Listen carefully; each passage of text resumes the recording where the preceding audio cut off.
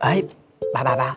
Ủa cái đầm này dễ thương quá. Bà đặt không? Tôi đặt luôn cho bà. Thôi thôi cái này không phải gu tôi. Bà á, không biết trend gì hết. Cái này á, đang rất là hot luôn á. Bà không đặt là uổng lắm á nha. Ôi hết sai rồi. Vậy là bây giờ phải đặt size lớn. Xong về á sửa lại. Cái gì? Không có sai mà cũng đặt nữa hả? Ừ, có làm sao đâu. Đang trend mà. Đặt rồi về sửa lại thôi. Trời không hiểu nổi luôn á. Cái gì mà chen đu dữ gì không biết. Ủa? Dạ alo em ra liền anh đợi em xíu nha. Gì nữa vậy? Ồ thì ờ, à, đặt á, cái ờ, kem phay hoạt chất vàng trắng da đó. Nghe nói cái đó đang trend nha bà. Xài xong á, thì là hết thâm sạm tàn nhang luôn. Sau một tuần á, da sẽ nên trắng sáng và đẹp lắm á bà.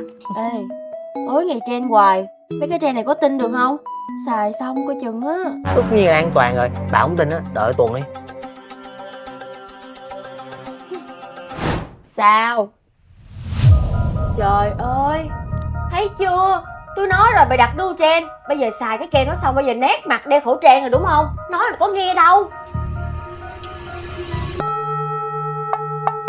Trời trời trời trời da mịn mà trắng dữ vậy.